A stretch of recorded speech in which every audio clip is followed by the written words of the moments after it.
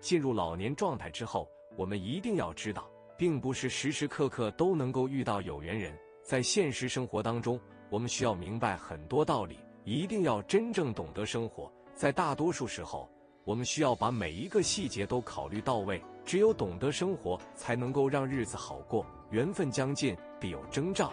人老了，和这几种人斩断缘分，余生幸福安康。这里是大道无形，分享国学故事，欢迎订阅。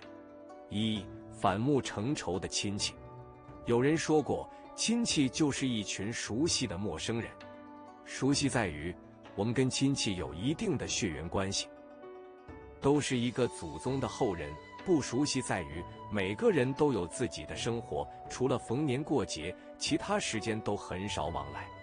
亲戚这个群体还有一个特点，那就是喜欢就近攀比，比如看到你就跟你攀比谁有钱，谁买了房子和车子，谁的孩子更优秀。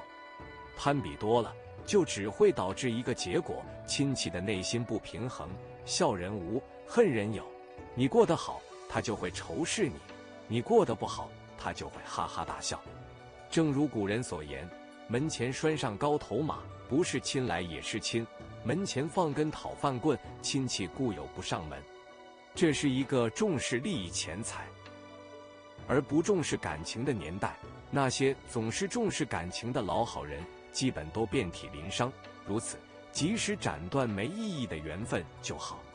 二有深深代沟的人，代沟是指两代人之间在思想、价值观念、行为方式、生活态度以及兴趣、爱好等方面的差异、对立和冲突。人与人之间存在着一定的代沟，其实也是很正常的行为。但两个人如果彼此之间存在的代沟很深，彼此之间难以理解对方的所作所为，那么这样的人其实就算是一种和我们无缘的人了。就是在一起，也是一种煎熬。彼此之间就是有话也不想说。人到六十，我们已经走过了人生岁月的许多风风雨雨，在这样的一个年龄，我们已经学会了舍得和放下那些和我们有过深深代沟的人。我们已经懂得用我们心如止水的心态去面对。也许在现实生活中，当人到六十的我们走过那些和我们有过深深代沟之人的面前时，我们还会露出淡淡的微笑，而这样的一种表现，是人到六十的我们阅尽岁月沧桑之后的一种洒脱和自然，更是一种人到六十之后看破红尘的心态。而这样的一种心态。其实就是说明了，我们已经和那个和我们有过深深代沟之人缘尽了。也许转身离去之后，大家都可以找到属于自己的风景，不亦乐乎。三相伴多年的同事，曾经的默契与温暖，任何一段长久的缘分都需要时间和默契来铸就。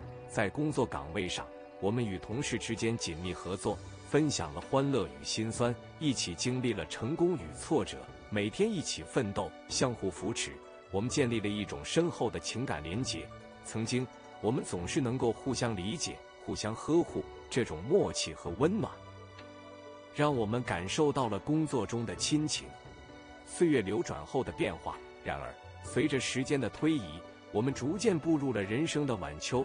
年轻时的勇气与活力被岁月慢慢冲淡，身体机能和精力也随之衰退。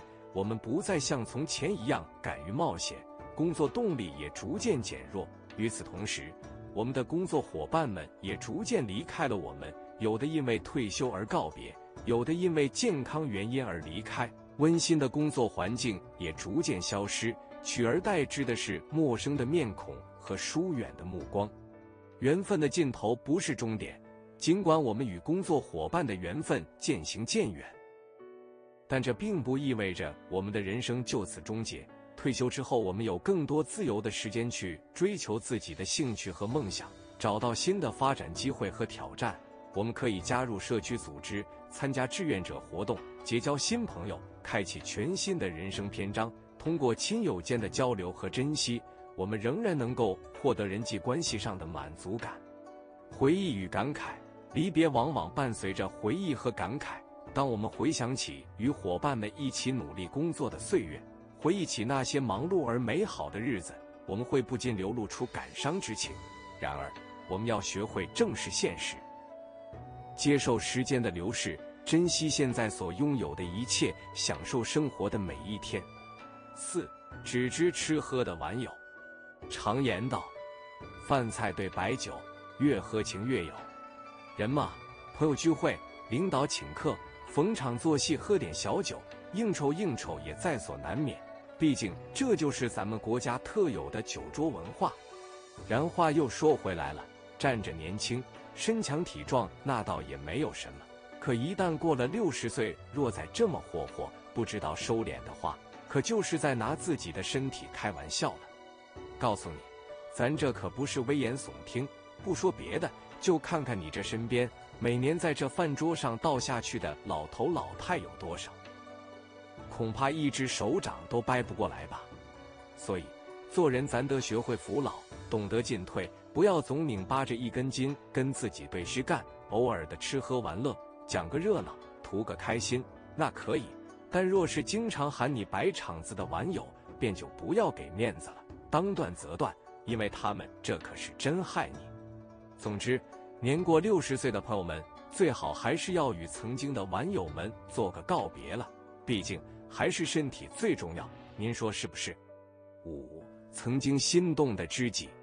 世界上无论圣人贤者，还是凡夫俗子，都无法确保对婚姻的绝对忠诚。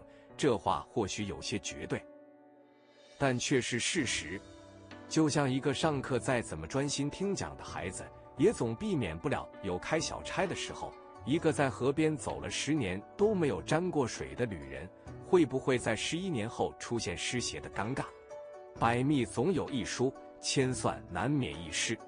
或许你可以一年、两年，甚至十年、二十年，拍着胸脯信誓旦旦的承诺不会背叛自己的另一半，但三十年、四十年、五十年，甚至是一辈子，您难道都能保证对别人没有一丝丝动心吗？哪怕是精神上的，我相信没有人能够完全做到，因为动心是原始脑的本能欲望，是荷尔蒙和多巴胺的暗箱操控。而作为身体上司的理智脑，所能做的也只能是用道德去约束，不能直接选择逃避。说到这里，可能有些杠精立刻便坐不住了。柳下惠不就是坐怀不乱的典型代表吗？对，是不错。柳下惠的确能够抵御年轻女子的坐怀而不乱，可她那怀中的女子是什么人？人家姑娘只是由于淋湿了衣服，寒湿难耐。逼不得已之下，才请求在柳下惠怀中采暖，以驱寒湿。说白了，即姑娘纯属本能之举，并没有任何勾引柳下惠的企图。而若姑娘真的有心去勾引柳下惠，请问这柳下惠还能坐怀不乱吗？再说，即使柳下惠仍旧能够坐怀不乱，充其量也只能算是个例，并不具有普遍性，没有实际研究的价值。因此。咱也只能奉劝六十岁后的朋友们，无论你的精神世界里奔跑着多少匹脱缰的野马，此时最好也要学会和没有结果的知己道一声别，说一声再见。因为和你相濡以沫、走过风风雨雨的老伴，才是你最应该放在心上的红颜知己。您觉得呢？